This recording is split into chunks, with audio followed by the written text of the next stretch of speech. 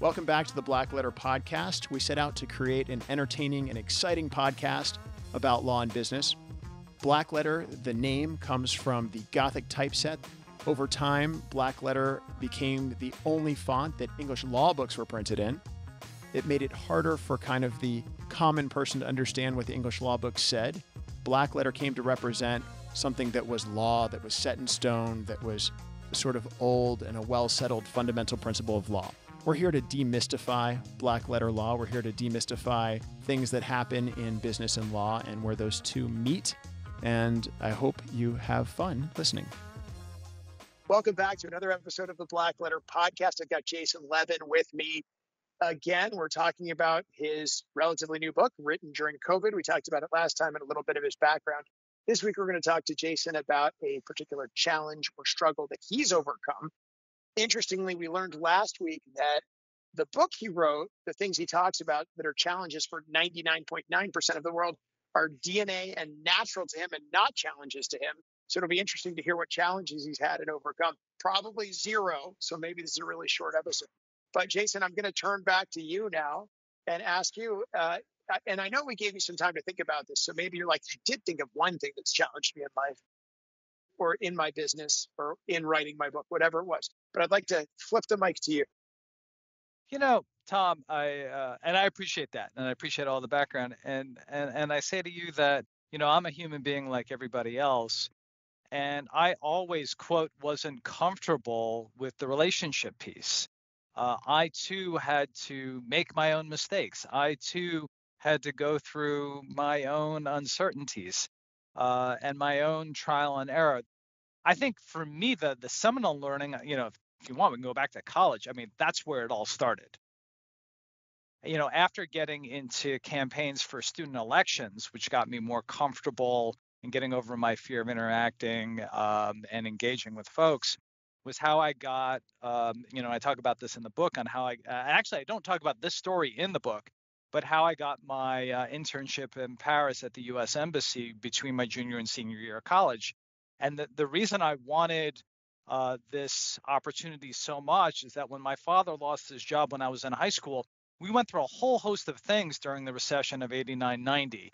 And so mm-hmm. being a child, child, I was in high school, but having having seen my parents experience a recession and really live through the uncertainties of not having income in the door and it was a prolonged unemployment really impacted me. Uh, and it really got me thinking in a way that, uh, you know, you were saying that I, uh, you know, in the last uh, segment that I was a little bit mature.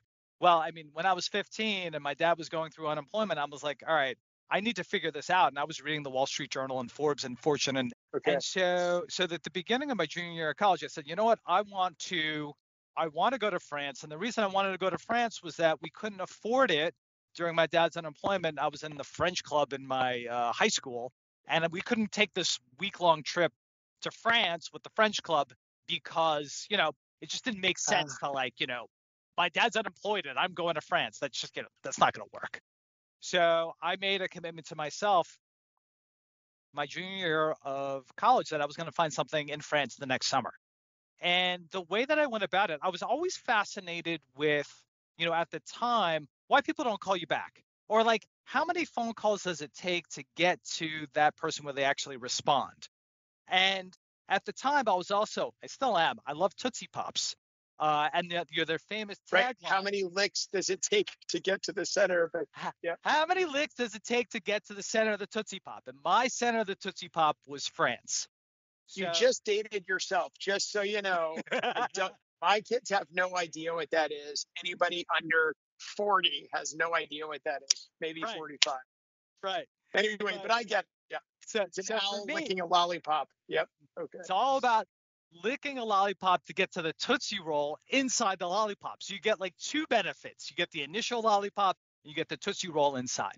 So for me, that France internship was that Tootsie Roll inside. And I started telling everybody, you know, next summer I wanted to spend it in France. I'd hope to work there. And very early on in September, I got the name of the former speechwriter to the U.S. ambassador to France uh, from one of the board of trustees at my university. And she's like, call him and tell him I, you know, told you so and, you know, see what happens. And I did something different though. I set up a, a sheet. I set up a tracking sheet. It was a piece of paper and a pen. And I left a voicemail, but then I jotted it down. And then I set up a reminder system. I said, you know what? He may or may not get back to me, but if he doesn't get back to me, I should really follow up on this because this is something I really care about. And so Right. I got it. I was make I was you know again this is mid 90s so the email email didn't really exist in, in connecting and reconnecting. So over a six month period, I probably left between 10 and 15 voicemails. Uh, Wow. Where and and again process right.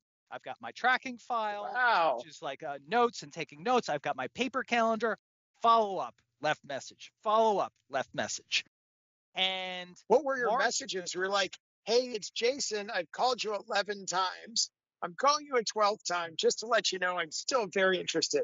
So, because I was thinking about why people don't get back in touch with you, I was thinking about from his perspective. I'm like, what's going on in his life right now that he's not calling me back? So, I did the exact opposite. I said, you know Okay. what?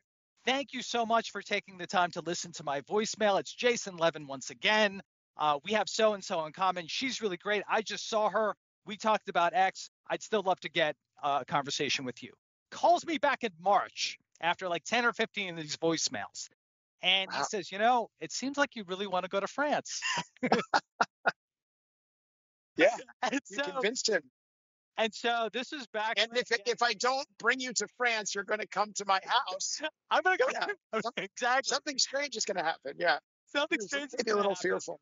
you know, we'll move in together and, uh, you know, I'm going to become like your best friend. And he said, you know, let me do this. Let me reach out to some of my colleagues. And sure enough, he did what he said he was going to do. Uh, and it took a couple more weeks. He's like, all right, here's the fax number to the folks. So, like, you know, when you're, my first time I sent an international fax where you had to do the zero Wow. one. Um, And wait, and wait. So hold on a minute, Jason. For everyone out there who doesn't know what a fax machine is, it's what your copier does now. It's like an email with an attachment, but there's no, and the cover sheet would be the email, and it came out in paper. right, So that's you know for everyone under 30. right. Okay. Okay. Right. Now we're Yeah. And then the phone rang two days later. And it's not like your regular phone. It goes beep, beep. And it was the first time I had heard an international European phone ring. that's And hilarious. It, it was the US Embassy in Paris. And they said, well, you know, we heard from, you know, our former colleague. Uh, and again, this was pre 9 11, so there were no background checks. She, she's, she said, listen, you know, the internship program is already set and done, but we do have an opening in the ambassador's residence. The fact you have an accounting background, we do need some help. Our finance manager needs some help. We just, you know, you need to come over here. Um, you know, you have an opportunity, but you have to figure out your own way. Uh, and so I ended up figuring that out. I ended up living in a Paris youth hostel for a couple of weeks, you know, going Wow. back and forth. Good times. And then my finance manager like really felt bad for me and he saw how hard I was working and he convinced the staff to move me into the ambassador's residence. And so Wow. so the summer of 1996, my address was the US ambassador's residence where I was living with the cooks and the maids. That is kind of cool. Still, that's pretty neat. So when you talk about the silence, the overcoming yourself, the consistency, all those kinds of things, when I think about Paris and like one of my favorite experiences was on July 14th, they had like this Bastille Day event and the US Embassy was bringing in the board of directors of Monticello. And we were Right. taking them all around it and ended up having a dinner inside the Eiffel Tower with the fireworks going off, like the best view of the fireworks. Inside That is an expensive restaurant. I've been there. Yeah.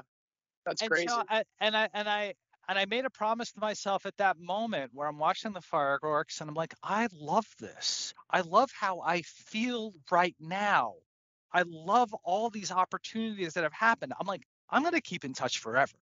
I'm gonna set up a whole and so it got me leaning into more around how I thought about people and who were good to me and who who could I bring into my world and staying organized.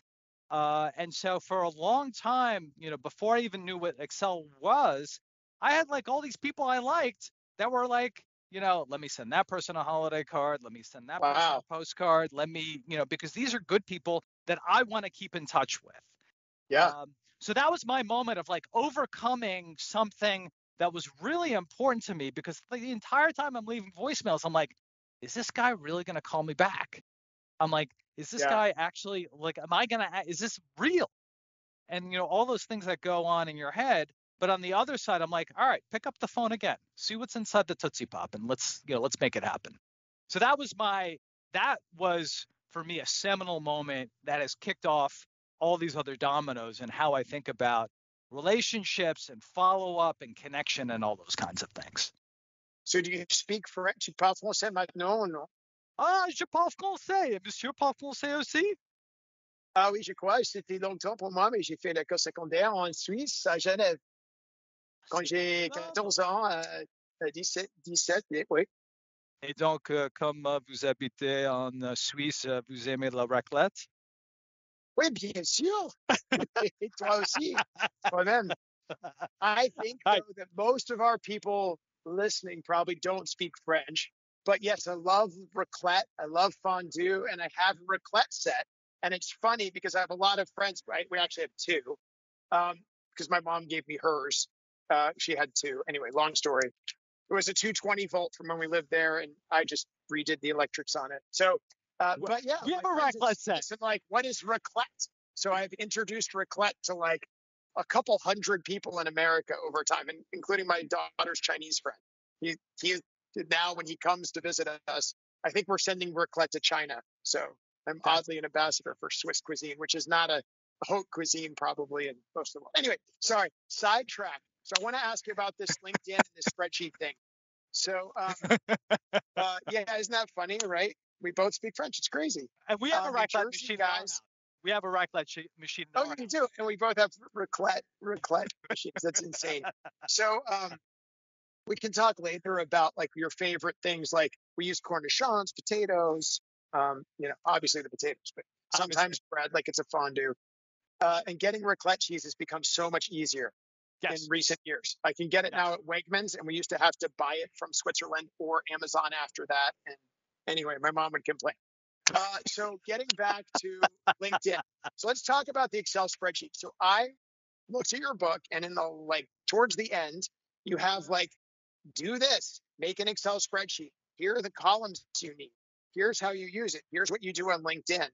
Is there uh, some way, I don't know if maybe you could describe that, or is there some resource people who don't buy your book, obviously it'd be better if they bought your book for the world, but is there some place they can find that information? Does your company have a website? Um, you know, how does that? Yeah, I mean, my, my, you know, Ready Set Launch has a website. I've probably blogged on the topic in a multitude of ways.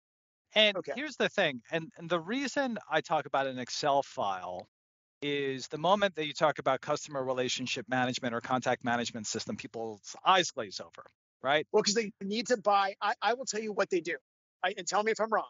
They're like, I need to sign up for Pipedrive or I need to sign up for some CMR tool that will manage my relationships. And then they don't use the software and they don't end up. But Excel is just such a, it's like a piece of paper. Right. So, you know, that's what I, I, you know, I always come back to any contact management system or customer relationship management system is a good system if it gets used, right? It has to get used. It has to be adopted, yeah. right? So, but if you're not going to adopt that, then well, what is that? What do you uh, export to, right? So when you export, it always goes to an Excel file, right? Yeah. The Fair. Export, I like that. It, That's the ubiquitous central piece of technology is an Excel file. It is the contact love language, Excel. Fair. It is the, it is the ultimate contact love language. You know, Sold. You want, you know, you want to send, you know, a big MailChimp email blast. Get sent to an Excel file, a CSV file. Like you know, that is the ultimate. That's why I'm like, why are we not talking more about Excel? Why are we not, you know, living in that and then using that as the, you know, if you don't want to, I, and again, I think, you know, everybody that, you know, in their firm uh, ha, that has a CMS or a CRM, adopt it, try to use it. But at the same time, if you're looking for a simpler version, then You just open up a tab, and it's just very easy to populate yep. these fields of who are the people in your neighborhood, right? Everybody thinks this takes so much time. It doesn't take a lot of time to open the file and to put a name into an Excel file, like name, address, email, phone, like you know yeah. that kind of stuff. It, it's th- this is not this is not you know rewriting the Magna Carta. So you know it's it's one of those things, but it's again it gets back to the consistency piece. So sure. I'm you know in the broadest sense have a central place to organize all this stuff. So that's why your awesome. LinkedIn profile is not yours, it's still LinkedIn's. So at the end of the day, your Excel file can be your true guide on the people, and you can put different tabs, or you can keep it in one tab, or you know, this is client, this is friend from college, this is friend from law school. Oh, good idea. And the crossover tabs and the yeah. Yeah, yeah. And then you know, uh, then you can use in your Excel file or in your or LinkedIn. One of my favorite sorts is the city sort. You can be doing sorts like, you know, I was just in. Uh, ah. doing a, ah. I was doing a speaking engagement in Chicago. So what's the first thing I'm going to do? I know I want to go to Chicago. I'm doing a sort on who do I know in Chicago. Right? That is such a great. I always forget, Jason, and I love this, and this will be my takeaway from this segment. Even though you've given me lots of other stuff like persistence, on it. but for me, I go places all the time. I was just in Austin and I realized there's like two clients and three or four other people I could have seen, but I went down and did my little conference, got back on the airplane and came home. And I had time. I should have, but I didn't do it. And I could have so, connected with all those people. You just, I mean, that's exactly what ha- it happens right. to me all the time. And then higher level stuff. So what I do now, after, you know, so after writing the book, you know what I got back into? I got back into postcards. And oh so, oh so I was just at a speaking engagement in Vegas. I said, you know what? There's 10 people I want to reconnect with.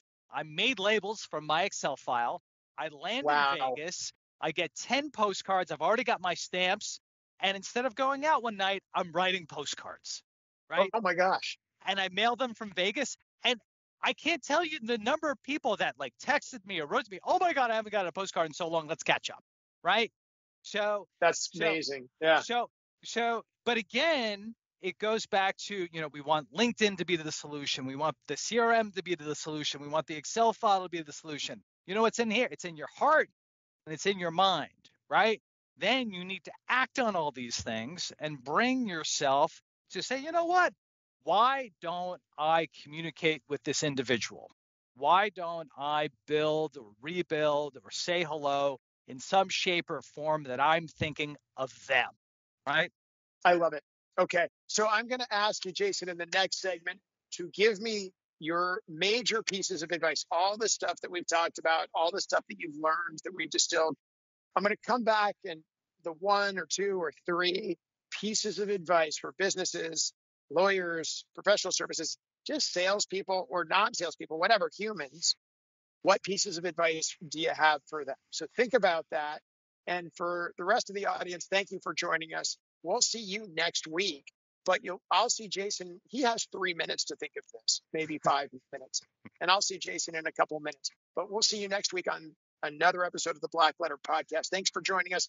Download us, see us on YouTube, listen to us on Spotify, iHeartRadio, uh, iTunes, wherever you get your audio and video. Thanks. See you next time. That's all for today's episode of Black Letter. Thanks again for listening. Join us next time when we talk about more Black Letter issues in creative ways. Make sure you subscribe to the podcast so you never miss an episode and check out our website at blackletterstudios.com.